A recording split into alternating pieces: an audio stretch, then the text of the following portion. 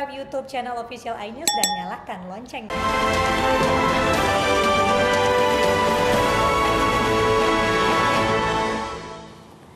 Anda masih bersama kami di Anyu Siang. Nah pemirsa ini menyambut lebaran ada sebuah tradisi unik yang biasanya ditunggu oleh anak-anak. Karena biasanya orang tua ini rame-rame nukerin uang, terus waktu hari raya dikasih ke anak-anak. Ini paling ditunggu-tunggu. Betul sekali, apalagi kalau misalnya uangnya ini masih baru, masih mulus, masih itu yang harum nanti, ya. Betul sekali. Nah bagaimana cara menukarkan uang baru dari pihak bank? Kita simak informasi berikutnya.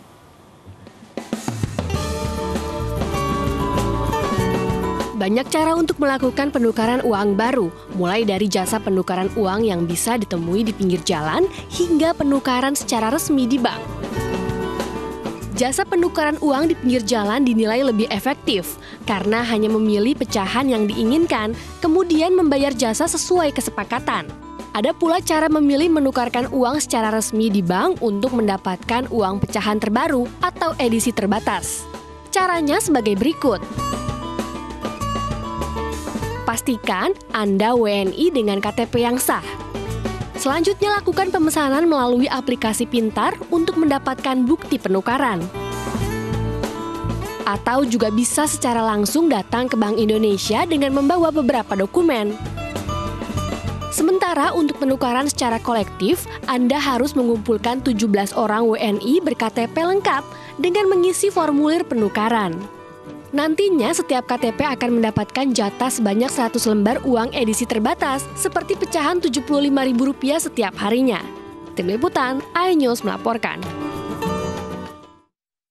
Nah itu dia tadi cara untuk menukarkan uang di bank biar nanti anak-anak senang nih dapat uang baru dan masih harum. Betul sekali. Apalagi sekarang bisa yang tukar uang 75 ribu ya edisi terbatas bisa menjadi eh, kado hari raya. Nah langsung saja kita lihat secara langsung bagaimana sih proses penukaran uang. Sudah ada rekan kami Eti Juwitasari di salah satu bank di kawasan Blok M Jakarta Selatan. Eti, bagaimana cara warga untuk bisa menukar uang? Apa saja persyaratannya?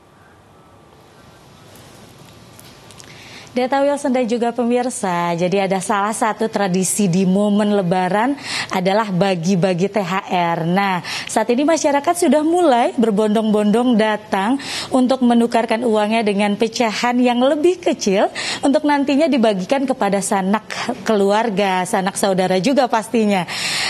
Pemerintah uh, melalui Bank Indonesia secara resmi tidak melayani penukaran uang secara mandiri, tapi bagi masyarakat tidak perlu khawatir karena hal ini dilimpahkan kepada jaringan bank di seluruh Indonesia salah satunya yaitu di bank tempat saya melaporkan saat ini yaitu Bank Sumsel Babel. Nah, di bank ini sudah diperlakukan uh, aktivitas penukaran uang sejak tanggal 12 April hingga 11 Mei 2021 mendatang.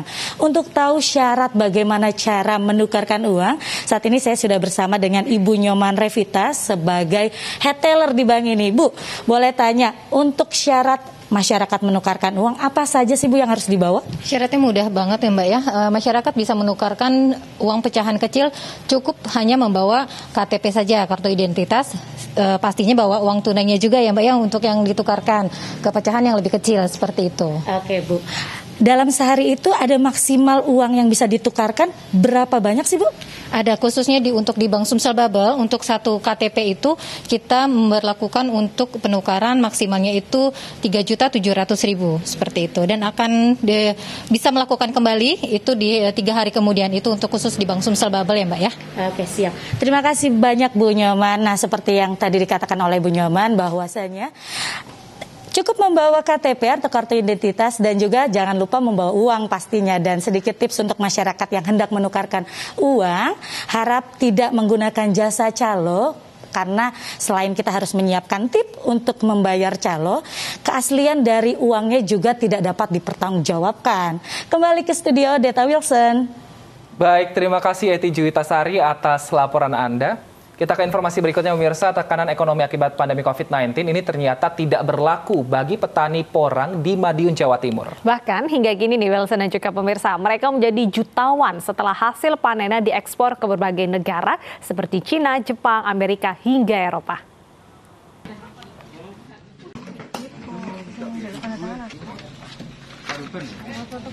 Para petani di Desa Durenan, Kecamatan Gemarang, Kabupaten Madiun kini berbahagia. Sebab saat pandemi, mereka menerima uang hingga 50 juta rupiah yang merupakan bantuan modal dari perbankan. Total bantuan pun mencapai 5,4 miliar rupiah. Bahkan seorang petani porang mengaku mendapatkan hasil 60 juta rupiah untuk satu hektar lahan. Panen ini ya hampir 60 juta. 60 juta ya. ya. Untuk berapa setengah hektar atau satu hektar? Satu hektar. Satu hektar ya. Itu belum termasuk anu katanya. Belum, karena anu katanya kan buat bibit. Oh, buat bibit.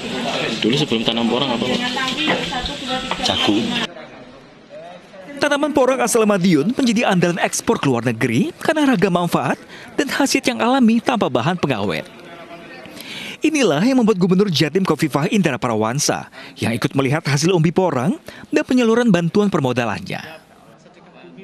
Pasar ekspornya juga tinggi. Oleh karena itu sebetulnya disiapkan kurs sangat besar, sangat besar.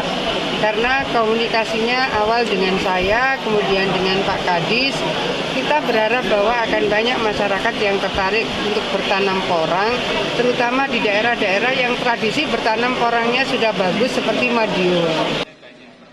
Porang adalah tanaman umbi-umbian yang tumbuh subur di kawasan tegakan hutan. Untuk mendapatkan hasil yang bagus, porang harus tumbuh alami dan butuh waktu 2 hingga 3 tahun untuk bisa memanennya. Dari Madiun, Jawa Timur, Arif Wahyu Effendi, iNews melaporkan.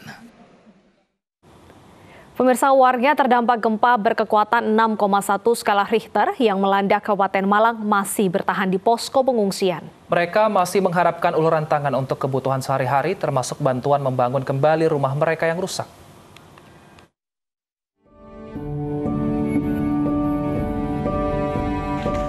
Pemerintah Kabupaten Malang bergerak cepat dalam penanganan dampak gempa 6,1 skala Richter yang terjadi 10 April lalu.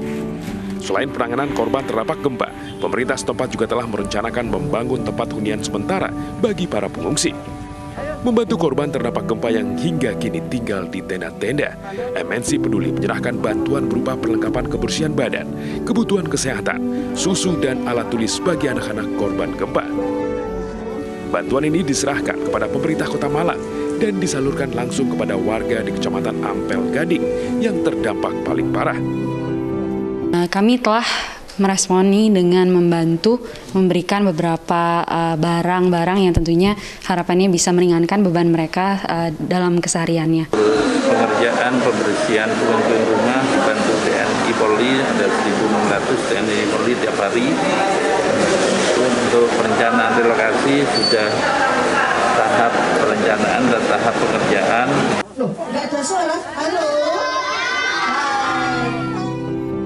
Selain menyalurkan bantuan, MNC Peduli juga melakukan trauma healing bagi anak-anak korban gempa dengan mengajak bermain dan menggambar.